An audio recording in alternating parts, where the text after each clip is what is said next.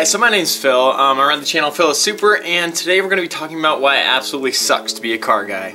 Starting off, let me just preface this by saying that I do not regret ever being into cars.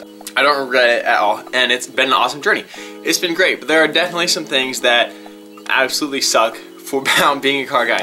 First off, let's just go hit the elephant in the room. And first off is cost. So I want to show you guys something really quickly. So behind me, I have an engine and these boxes, miscellaneous parts. And then I got my car sitting over here and I'm slowly working on an engine swap.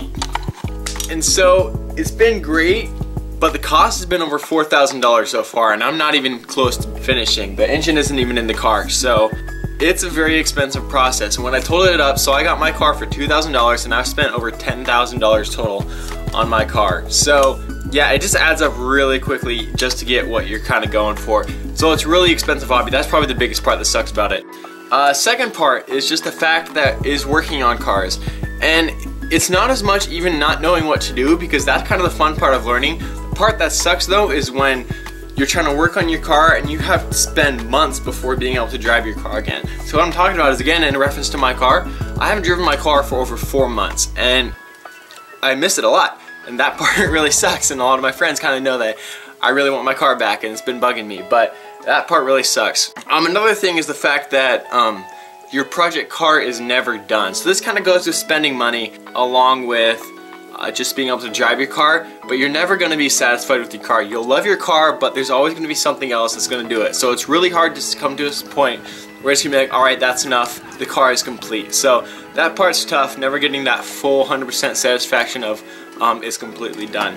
Another thing that sucks, and this one is a little bit controversial, but honestly, half of the community really isn't that great, um, especially for me where I'm with with the Japanese cars. Now to its credit, there are a lot of good guys out there, and I, will change this by saying that the majority of people out there are really awesome in the community. I've gotten so much support. I've come in and I really knew nothing about cars when I first started and it's all been a learning process but it's been so easy I've just been able to ask people and they're so kind and they've been help, been able to help me out quite a bit but as you can expect, there are the flip side of those, the keyboard warriors, the ones you see a lot that uh, just want to go out and hate on everyone's build. You see it a lot on Instagram and a lot of YouTube. Just look in the comment section and you don't have to scroll far on any like decently big sized page.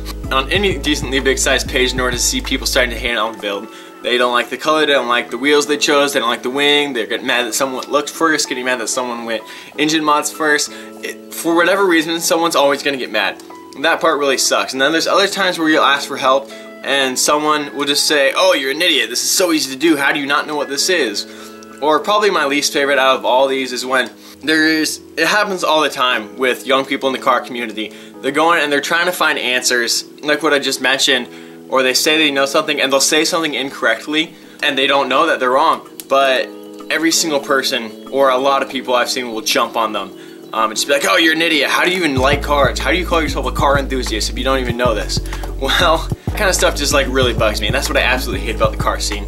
So another thing I don't like is the takeovers. So you guys may have seen those videos of people doing donuts um, at car meets and just like taking over a street. And honestly, I don't like that kind of stuff. First off, is a lot of the times it's technically illegal and I mean I'm against breaking the law because yeah I mean I, I totally get how fun it is and it's great to go and mess your, like, dink around with your car and have a good time. But when you're doing it on someone else's property and then when the police come and you're the one who's doing wrong, but you get mad at the police for interrupting your fun, then that really, that doesn't look good for the car community. And you're hurting others who are just trying to have, enjoy building the cars, who enjoy the process of daily driving the cars, but not the people who want to go out and uh, go mess around in like parking lots and stuff. So that really bugs me. It's one of the things.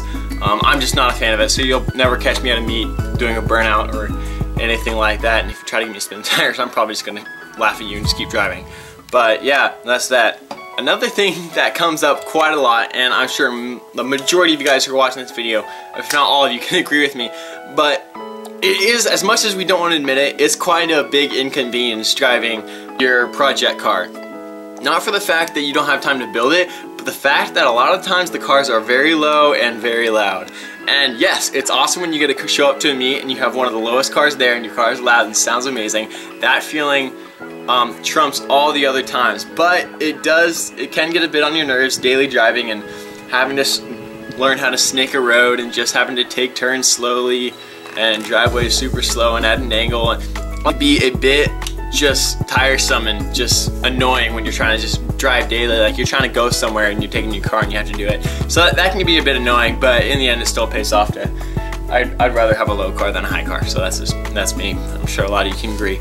But yeah, so there are some of the things that I absolutely do not like about the car community or being a car person in general. Feel free to leave your ideas, what you don't like about the community down below or what you don't like about being a car person down below go ahead and leave those there. I will make another video on everything that I do like about the car community, just so you know I'm not completely hating on it. But anyway, that's it. If you want to see updates on my car, I do post quite a lot on Instagram. My tag is at PhilSuper. I probably did that backwards now that I think about it. But anyway, my tag is at PhilSuper. I post updates every few days there. Um, you're gonna get a lot more updates there or sooner than when I post them um, here on YouTube. But if you are new, thank you for watching, and I am doing a process on my 1JZ swap. So far, I've taken the motor out. Um, I'm waiting on a new clutch flywheel pressure plate so I can put my transmission on and get the car back in. So that's what I'm waiting on right now, but I have other things to do in the meantime. So if you want to see the build on my Supra, then go ahead and continue to watch, subscribe. I'd love it if you could do that. Alright guys, don't forget to do the usual though. Dislike, unsubscribe, leave your hate in the comments guys. Bye.